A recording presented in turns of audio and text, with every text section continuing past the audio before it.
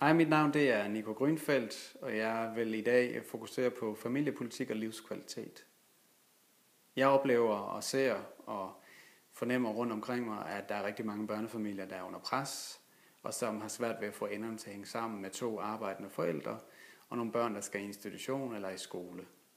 Og det mener vi, at vi bliver nødt til at forholde os til øh, politisk, samfundsmæssigt, selvom der selvfølgelig også ligger et individuelt ansvar hos de enkelte forældre.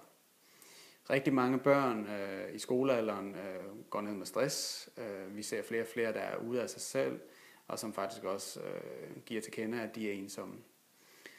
Og noget af det kunne jo tyde på, at øh, vi måske skal blive bedre til at være nærværende, omsorgsfulde og empatiske, også som forældre. Vi skal måske øh, slippe kan man sige, øh, arbejdsfokus og begynde at få mere familiær fokus.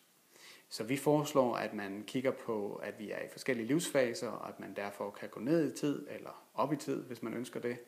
Vi foreslår, at vi er nødt til at kigge øh, på vores øh, barselspolitik, og så synes vi det hele taget, at vi bliver nødt til at forholde os til, at hvis vi vil have begge forældre ude på arbejdsmarkedet, jamen, så må vi også gøre det mere enkelt. Og det kunne jo være, øh, som for eksempel, at man har en koordineret skolemad og institutionsmad rundt omkring i hele landet. Selvfølgelig bæredygtig og økologisk.